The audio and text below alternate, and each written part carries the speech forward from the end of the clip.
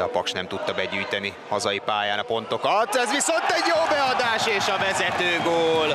Windecker érkezik, és az első valamire való hazai lehetőségből megszerzi a vezetést a Paks.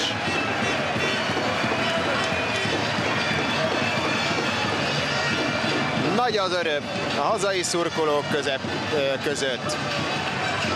Szinte végig a Debrecen veszélyeztetett az első negyed órában, egyetlen lehetőség is elég a házigazdának.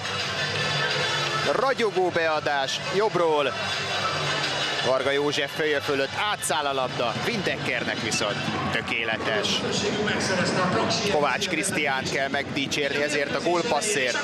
Tökéletesen rajzolta oda ballal a labdát Windecker fejére. Kicsit hangosabban, Windecker!